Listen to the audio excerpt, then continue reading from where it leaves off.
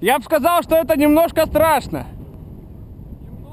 Да, самую малость. А там с камерой проблемы были.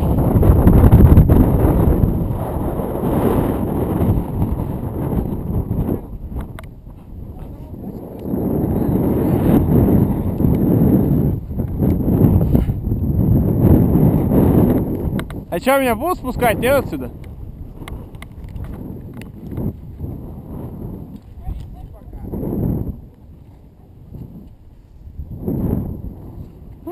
В голове кружится, блядь. Как, как?